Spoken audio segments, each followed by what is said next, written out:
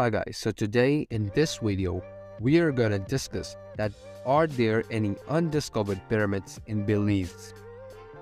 So, Belize is a small, vibrant country located in Central America, bordering Mexico to the north.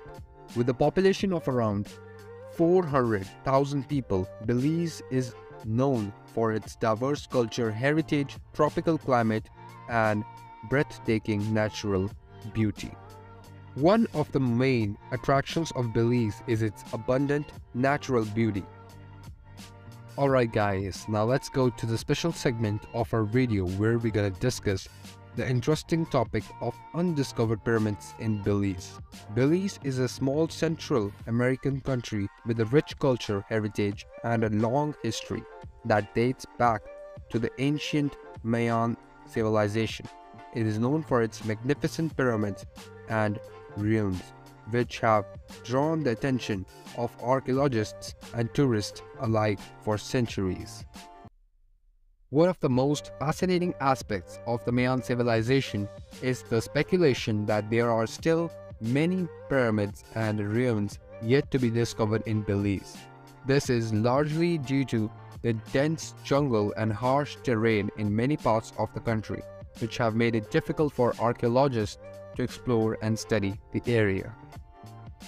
There is also evidence to suggest that the Mayans had a highly sophisticated culture and technology, which included advanced astronomical knowledge, advanced agriculture, and written language. This had led many to believe that there are still many hidden pyramids and ruins in Belize that have yet to be discovered.